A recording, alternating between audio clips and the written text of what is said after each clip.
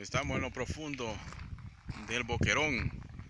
Acabamos de bajar una vez más. Difícil, liso.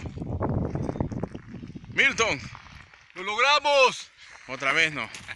Difícil va. No, difícil, complicado. Estaba liso, liso, peligroso. Por la lluvia está muy liso.